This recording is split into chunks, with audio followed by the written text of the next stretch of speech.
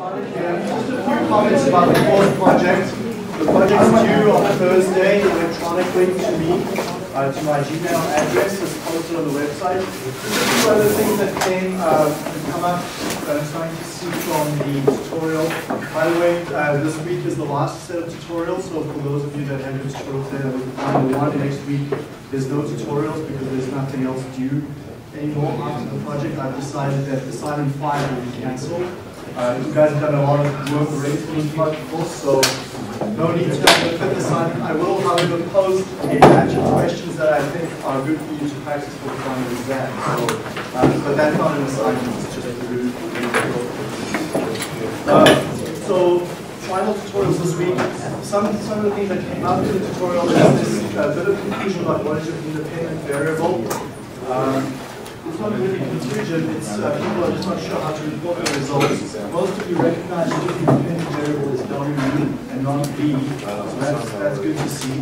Um, when you report your results in your project, uh, some people were, were wondering if they should show the results with respect to length on the x-axis. Uh, there's no need to show your results in terms of length. You can simply show your results in terms of W.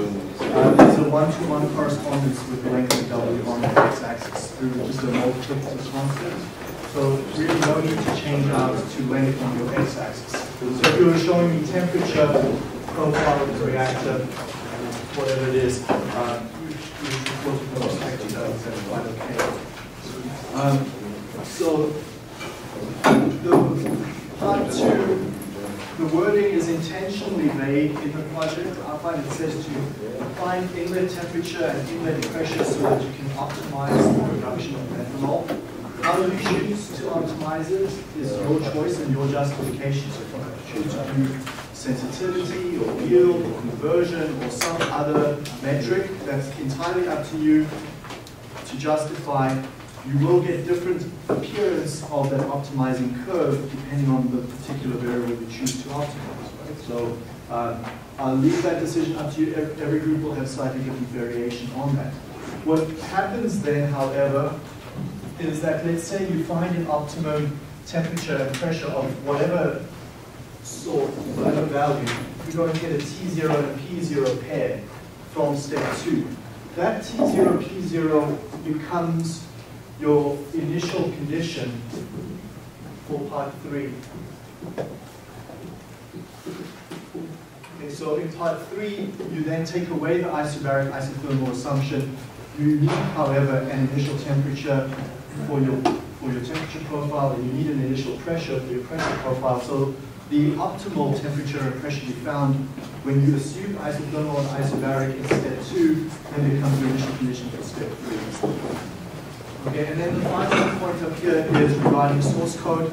As I, as I mentioned in uh, last week's classes, the source code for your project is due. It's not part of your page limit. So uh, you, you write up your project in whatever page limit there is, and you will email me separately either MATLAB files or Polymath files or whatever your, your choice of software tool is for integrating the ODEs in part three you email me the code for that. And it does need to be workable. It does need to reproduce the plots that you get in your reports, and I will be running the, that code.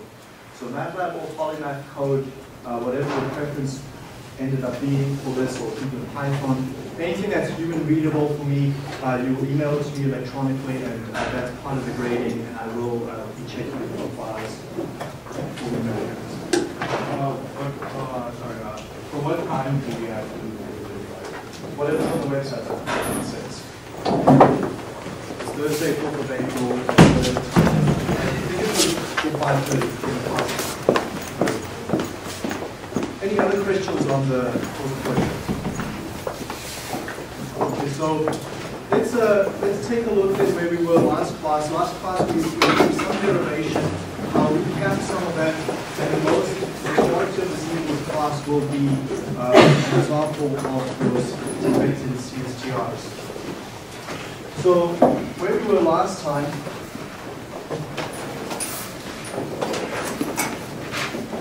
we derived an equation actually several classes ago, so where we had our heat flow in the system with the shaft work done minus FA naught, Naught,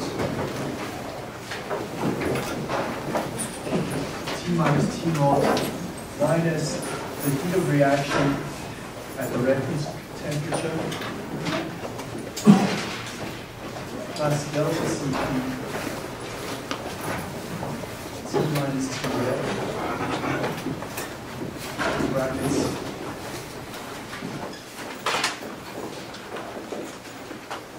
Was a pretty long equation. This is a heat balance, or an energy balance.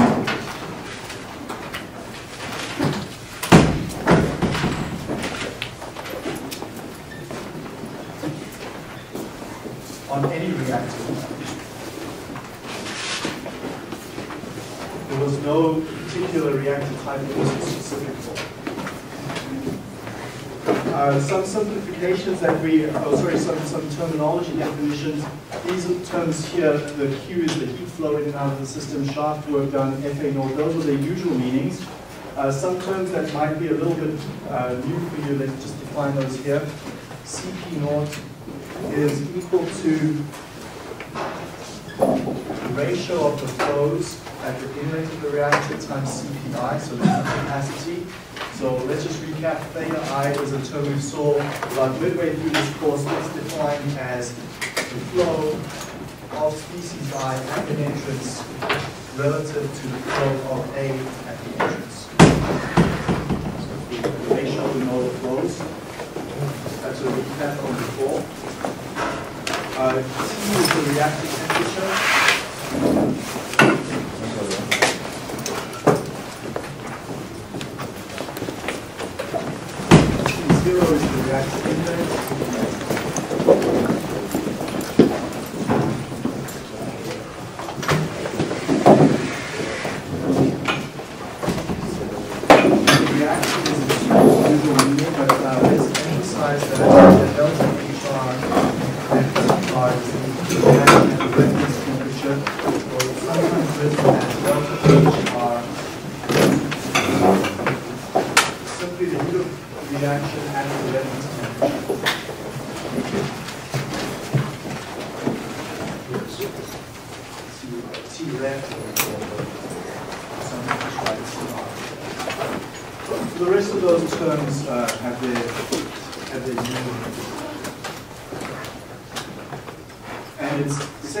zero because we're assuming steady state.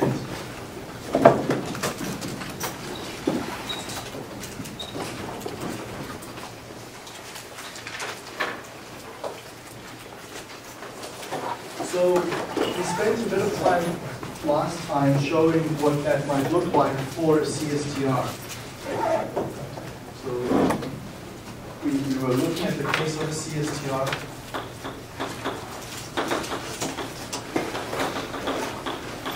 What is Q dot for non-adiabatic system?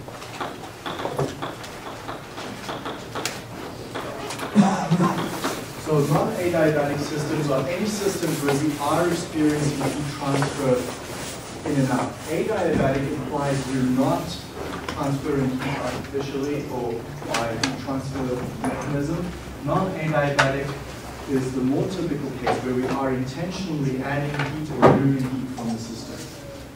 And so for a CSTR, that looks like a jacket in most cases. We have a jacket around the reactor. So I still have my inlet temperature coming in, T naught. I still have my outlet temperature T. That's for the material that's reacting. However, this jacket is supplying heat or removing heat from the system through some coil that is wrapped around the reactor, and that temperature comes in at T ambient 1, and it leaves again at T ambient 2. So that's for my heat transfer medium. HTM was the subscript we used for that.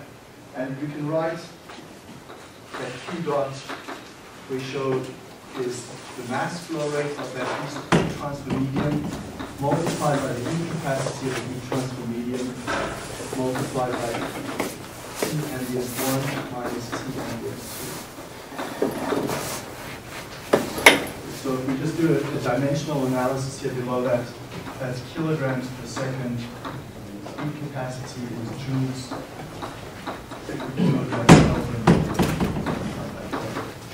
So that gets me my Q dot in the usual units of joules per second.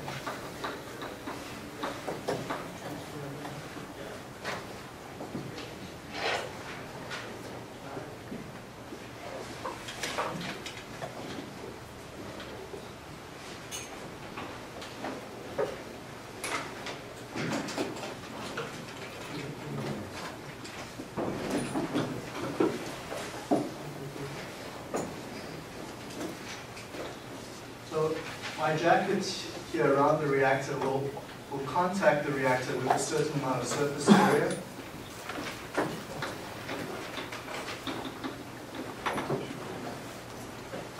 A heat transfer through that surface area is given by the derivation of exceeding heat transfer courses. Q dot is also equal to U the heat transfer coefficient multiplied by that area of contact. T ambient 1 minus T ambient 2. And then the log mean temperature difference between T, the reactor temperature, and T ambient 1 over T minus T ambient 2.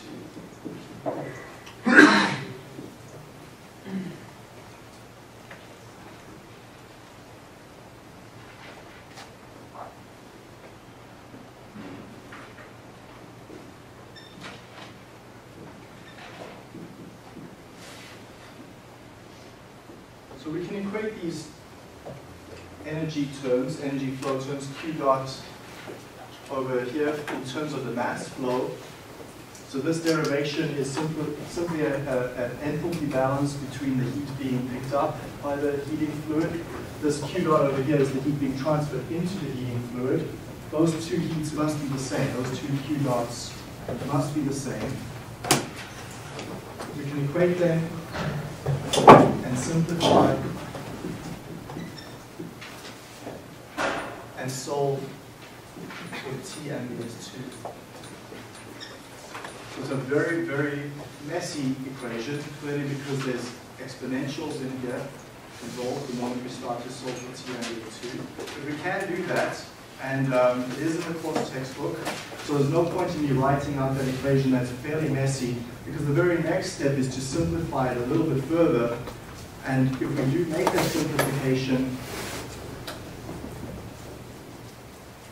and further, we get an equation that we will use quite frequently. U dot is equal to UA times temperature minus T ambient minus tank temperature.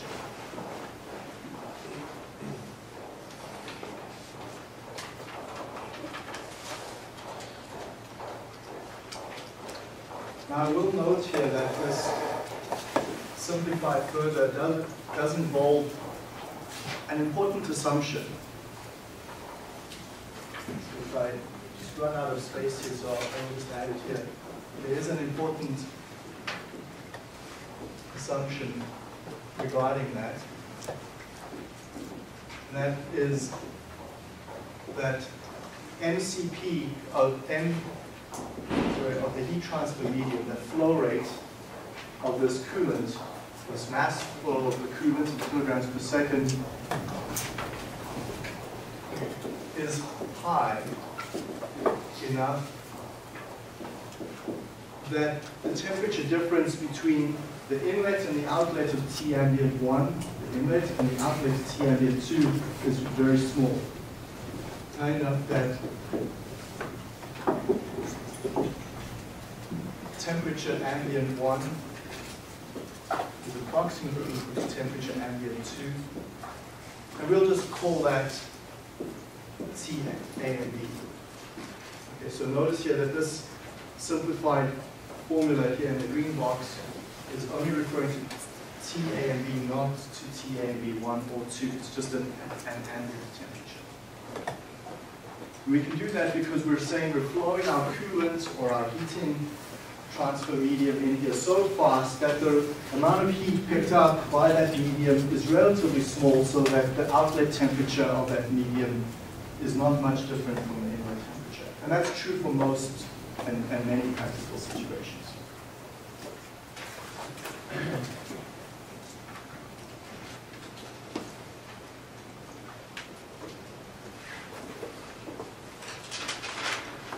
And the main reason why we, we make that assumption is because it allows a bit of simplification up here with this formula.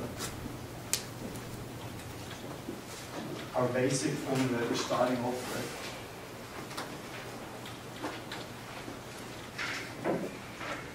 So let's make a note here then. Uh, we take this and then sub in that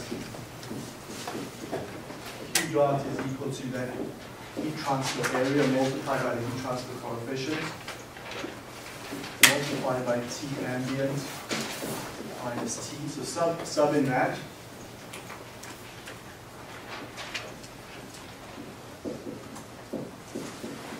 Also assume that delta Cp is approximately zero. Okay, so this term over here, delta Cp, relatively small. So compared to the other terms in that equation, delta Cp is small. And that uh, I will show in the example tonight is a fair assumption in many situations. And assume that we've got no shaft work. So uh, under those conditions, we derived in the, in the class on Thursday last week that we could write the following. CP0, 1 plus kappa, which is a new term we introduced, and I'll define that again. T minus TC, another new term we introduced. So two new terms we introduced last class, kappa and TC. I'll look at those in a minute. That's equal to the negative of the heat of reaction at, at standard conditions multiplied by constant uh, conversion.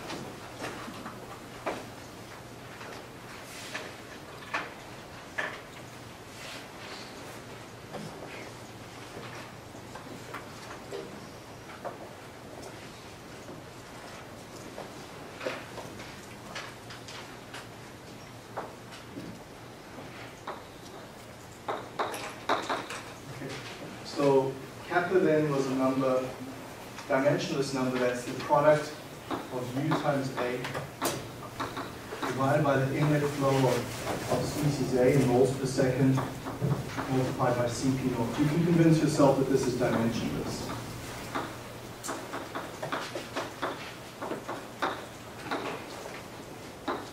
And Tc is another new term we introduced.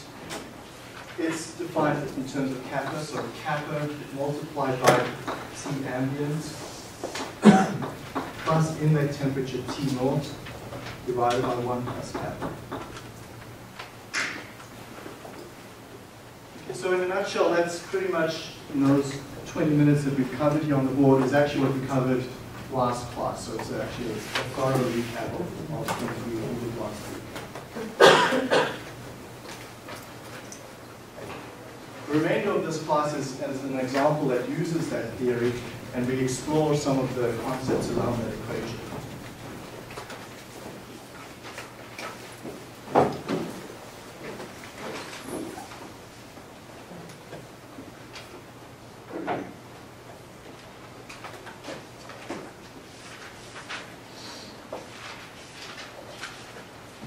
So the example will consider a CSTR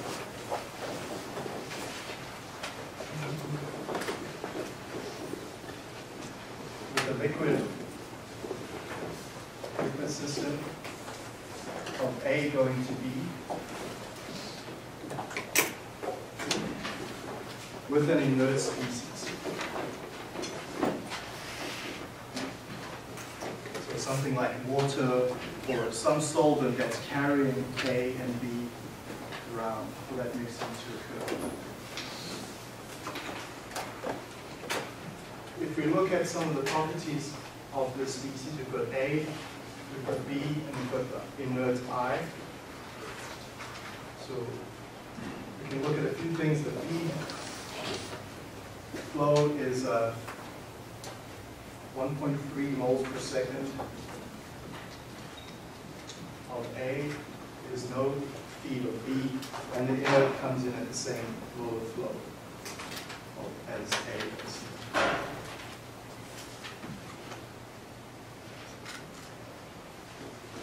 Heat capacities. P for these are 125. For B it's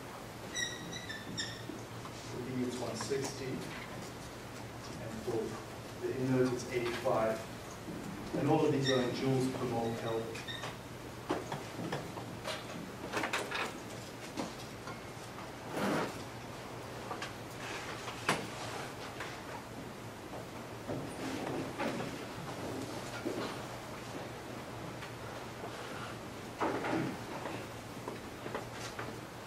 Also uh, told that there's, there's several other physical properties. So this is, if we're looking at the overall problem-solving strategy, this is the define step where we're just defining everything we do know about the system.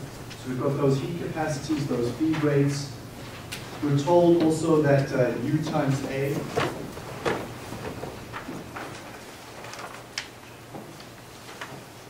U times A, that product in that CSTR, we don't know the individual values, but jointly UA is 560 joules second Kelvin. The ambient temperature of our heat transfer medium is 300 Kelvin.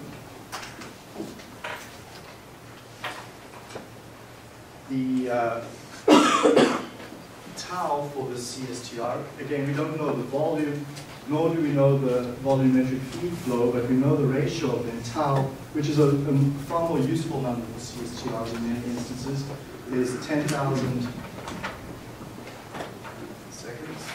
The residence time in the system.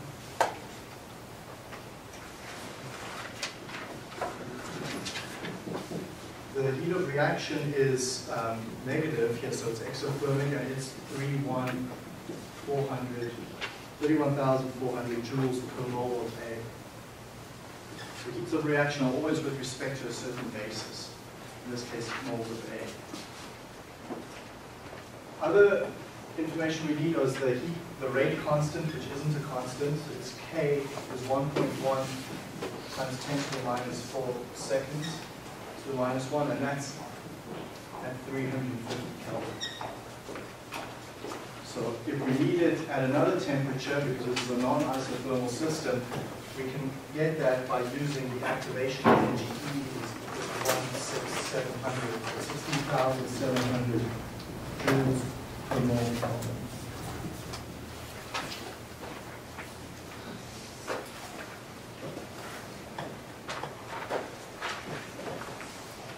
So we're given quite a bit of physical property information.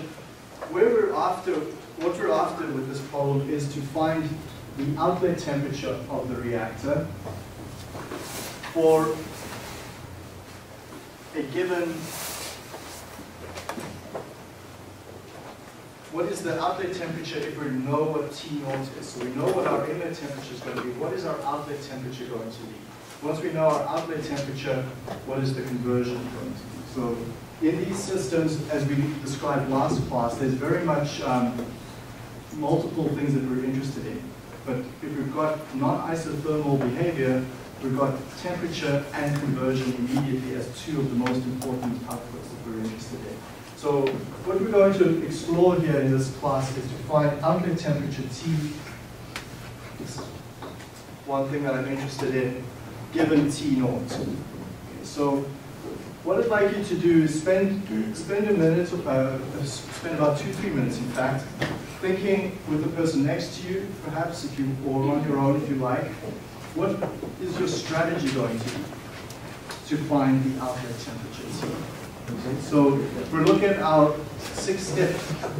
So several of you had asked in the course evaluations midway through the course, you wanted to see more examples of plan, explore, define, sorry, define, explore, plan, and then do it, and then check and generalize. We're going to go through those steps. What I'd like you to do is spend a few minutes planning your strategy for getting the outlet temperature T. This question is uh, pretty much a similar question to a previous final exam. So what would be your strategy to calculate that outlet temperature T given that information and given these formulas we covered last class? Uh,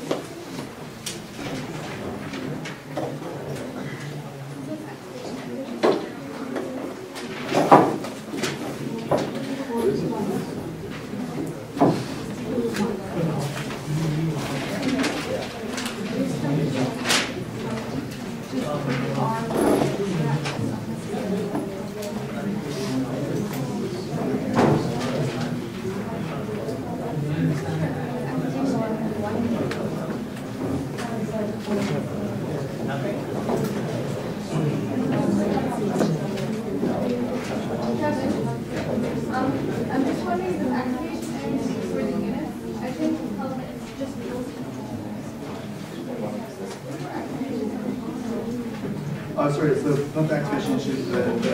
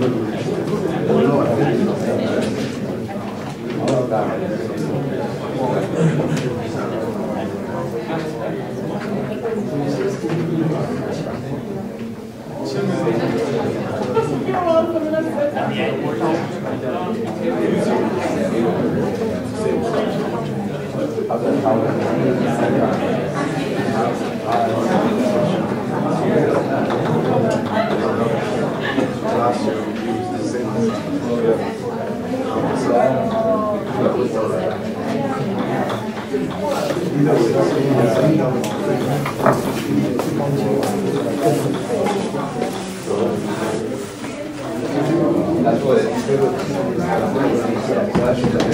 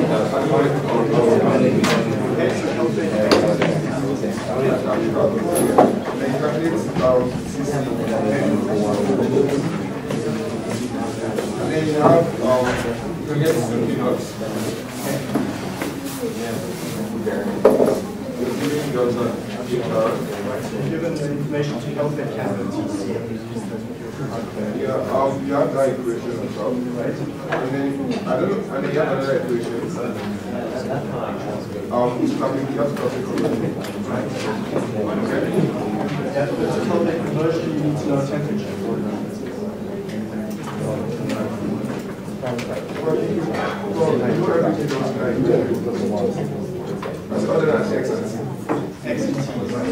Okay?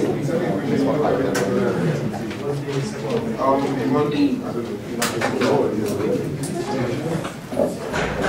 That's this equation is really.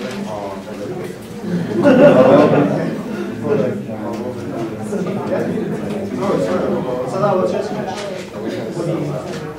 You need an ODE. Why don't you need an ODE for the system? It's in steady state.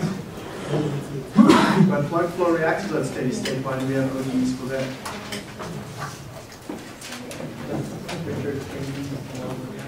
Okay, so ODEs for plug flow reactors are required because we've got profiles changing along the reactor. This is a CSTR. CSTRs operate at steady state.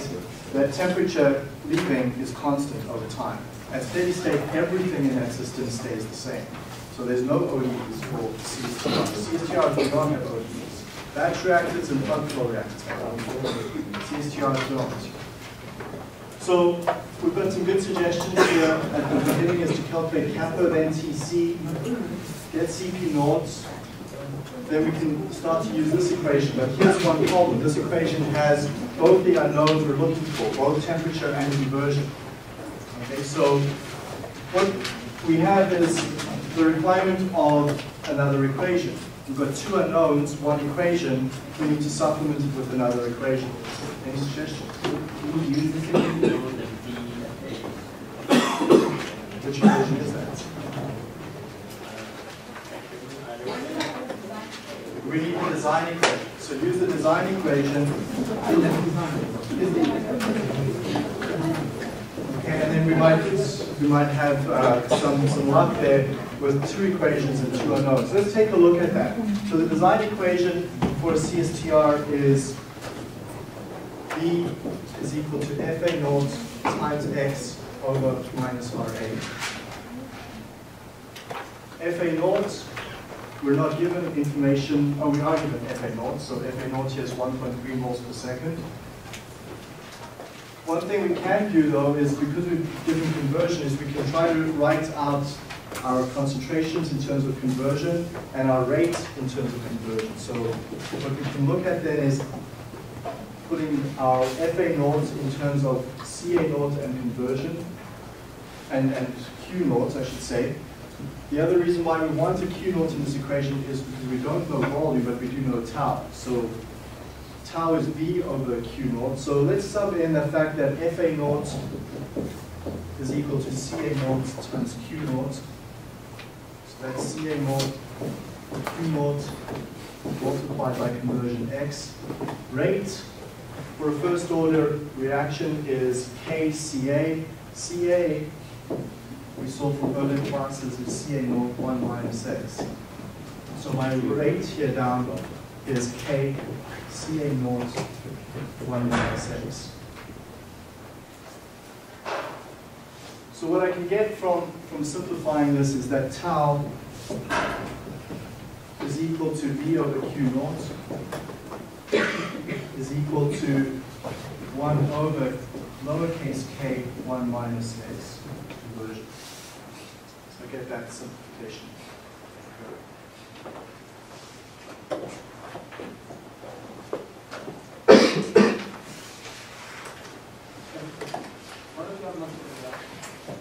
Okay, multiple reactions in a CSTR. What's the rule with multiple reactions? You write out your design equation for every reaction. So you'll have one equation is equal to another equation, which is equal to another equation, and then your unknowns will come. X in the numerator. Let's take a look. So C naught Q crosses out K. Yep.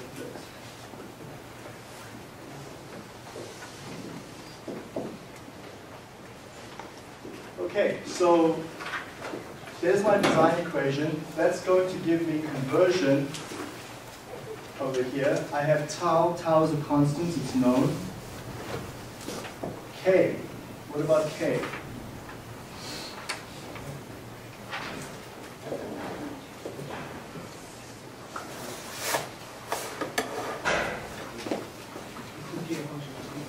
K is a function of t. So I'm going to erase some of these continues here.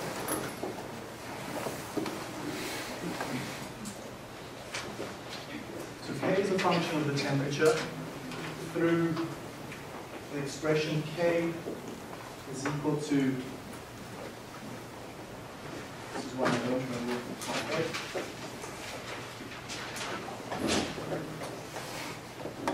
So K is equal to, let's call this initial temperature K naught at 350 Kelvin. So we can write my actual rate constant at any other temperature is K naught multiplied by the exponent of E over R 1 over T naught plus 1 over T.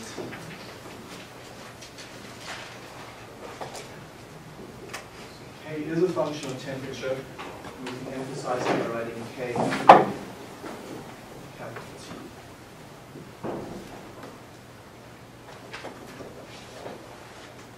So what's my plan? How's my plan modified now?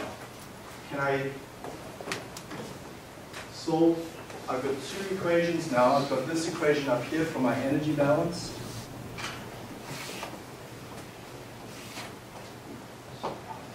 And I've got this equation down here, which is my mass balance.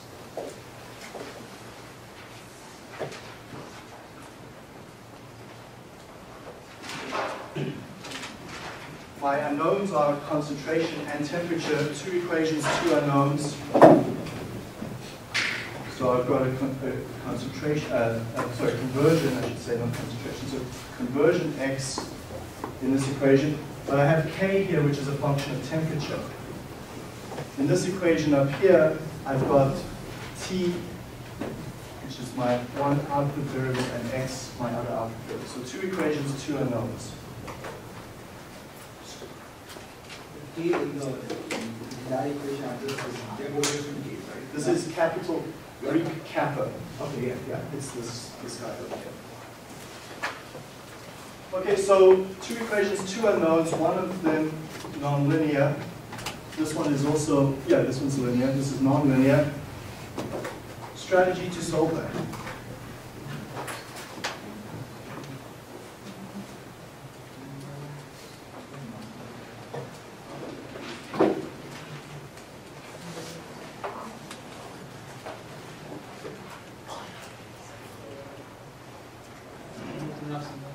Sorry?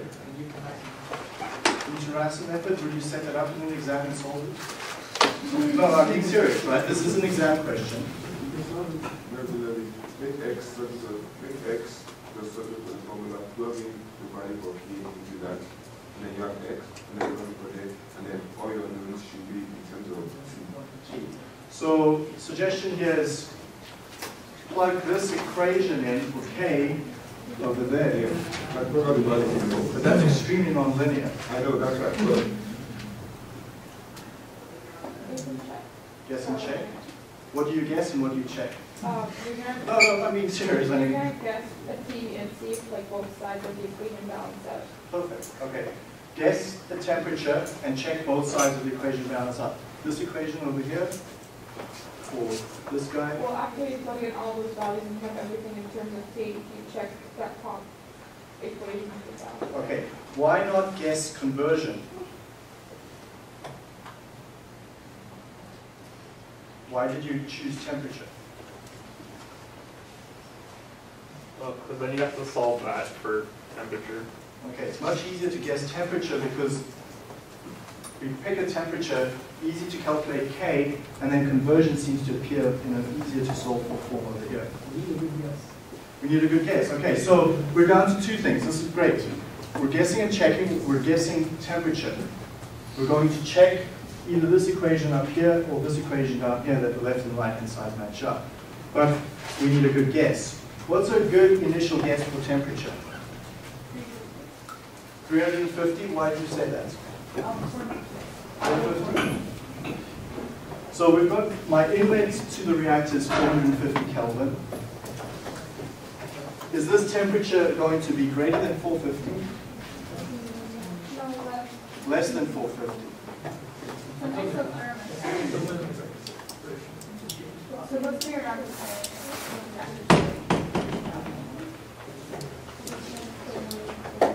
coolant is coming in at 300.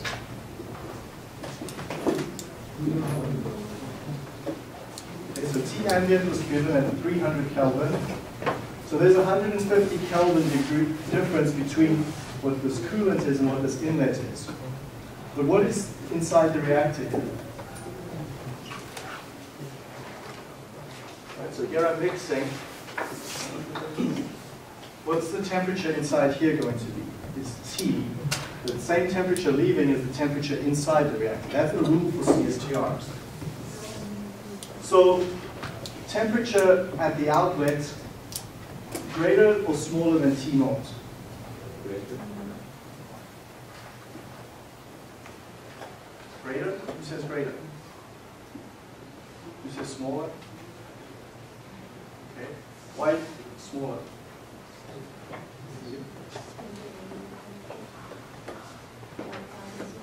Okay, ambient temperature of 300 coming in is going to take some of that heat away. Even though it's exothermic, right, we expect the reason for cooling it is so that this doesn't go even greater than 450. I can't change 450, it's given to me, it's what my feed comes in at. The use of cooling jacket is to remove heat from the system. We expect that it removes at least enough heat to prevent this reaction from getting carried away or to make sure that it doesn't go above 450. So we probably will be safe with an upper limit on our guess of 450. Probably I would even start a little lower than that, but certainly I wouldn't go above 450. Let's take a look also at a lower bound for temperature. Um, here and here. 300. So 300 is a good lower bound. Any other guesses for a lower bound on temperature?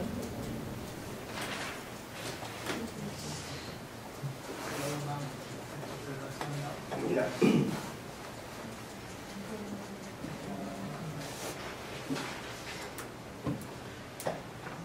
There's a better, there's a, the 300 is a good initial one, but there might be a better one. Would we calculate first what TC is and make sure it doesn't cancel out? Okay. That- Calculate first what TC is, and then make sure it doesn't cancel out. Should it be, More than that. should be more than TC? Yeah. Okay. Won't get a negative X. And if you can't get a negative conversion here, so the left and right hand side, we know that conversion must be positive. So T minus TC, Must exceed TC. Okay, so that's a, so that's, that's exactly how you do it. Guess and check, we've got good initial guesses now, at least exceed TC, but will be smaller than T naught. So let's take a look at what some of those numbers actually are. What, uh, so someone calculate, although everyone here calculate kappa, everyone calculate TC.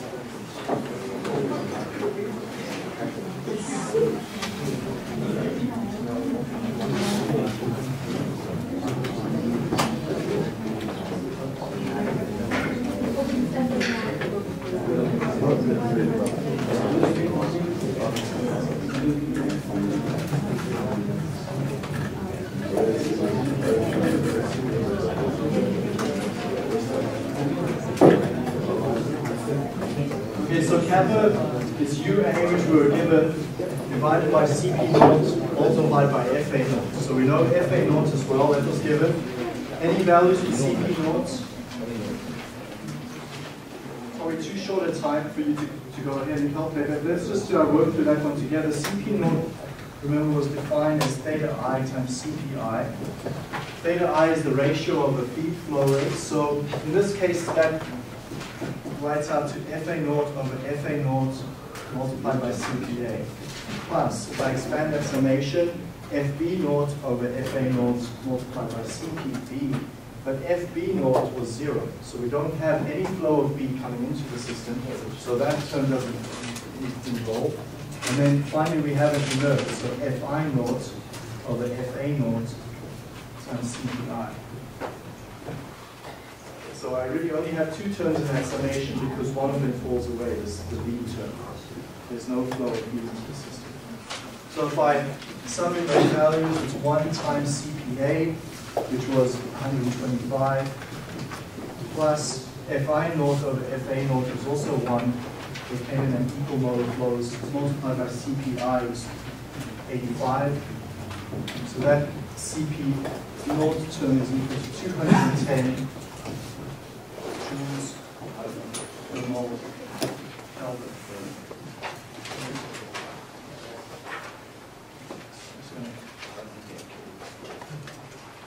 I recognize some people with that can't see, so I'm kind of a bit awkward here.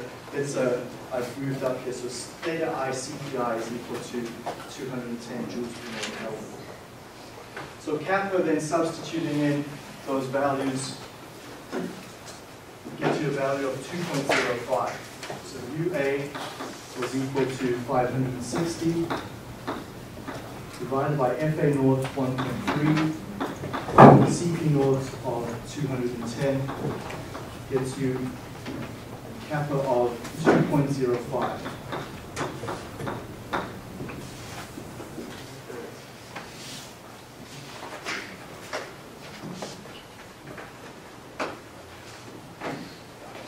TC, which is a lower bound for our temperature, can then quickly be calculated once we have kappa. So TC is kappa 2.05 times T ambient 300 plus T naught 450, all divided through by 1 plus kappa.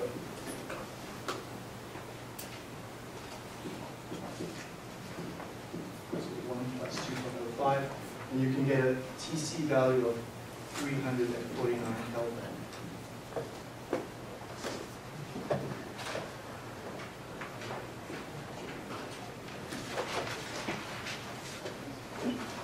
So essentially what I have now is a good lower bound for temperature is 349, a good upper bound is 450.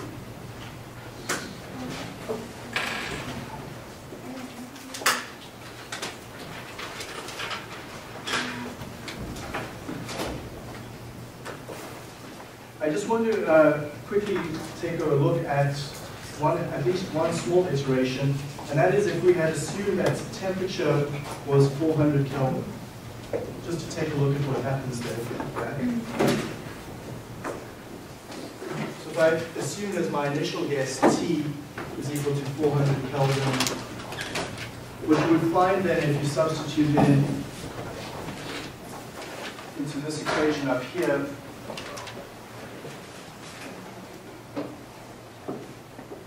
you get a conversion x is equal to t 210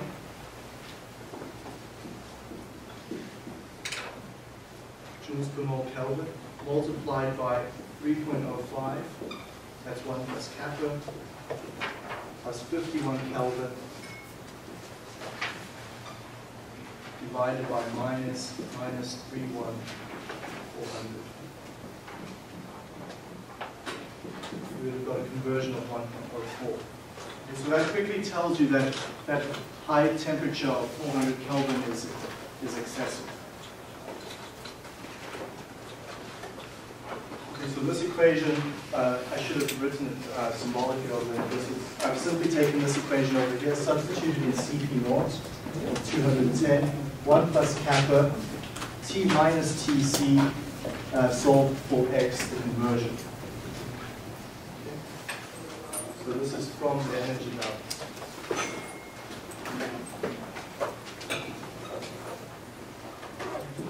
So from that energy balance, I would have quickly realized that values of 400 Kelvin is, uh, is too large, or too high. I would get conversions exceeding one. So already now, I'm now, quite quickly, I'm bounded by two very reasonable temperatures. 400 Kelvin is too high, 349 is the smallest I can go, so I'm somewhere between that 50 degree range. Okay, so the main purpose of this evening's class is just to show you the line of thinking to solve these problems. Tomorrow we'll, we'll do a few more iterations and we'll get